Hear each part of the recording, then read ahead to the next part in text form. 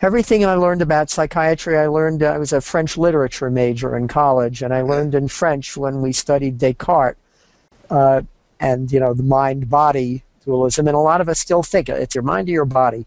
You're taking a medicine for your symptoms, you're getting therapy for your mind. Well, you wouldn't have a mind if you didn't have a brain. Yeah. And, uh, you know, I've, I've uh, patients who will tell me, my only problem is a chemical imbalance. And I said, so that's why you cut yourself and you burn yourself and you can't get along with your family and you hate everything is because of chemical imbalance. It's got nothing to do with your mind. Well, you know, people want it to be simple. It's this or it's that, and that's the way our society is. I just look at the Democrats, the Republicans, you know, Yeah. it's got to be this or that.